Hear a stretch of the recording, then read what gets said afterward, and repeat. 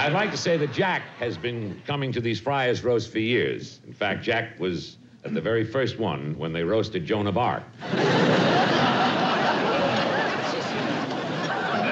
People make fun about his love life. Not me. What's past is past. Milton, you're a great star. I spoke to the Will Rogers home, and we have your room.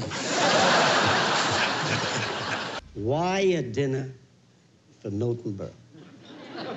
Some of the greatest people in the history of the world never got a dinner.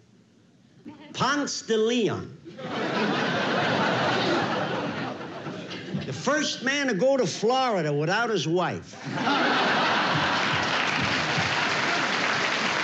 Never got a dinner. I love Milton. You were my idol when I was a kid. Now I'm getting shock treatments. Is he is he laughing? Take a look. Recently, Don has had some very good luck in the movies. He found a wallet under his seat. Boy, if I ever switch, you're first. I'll... You switched and I wasn't first.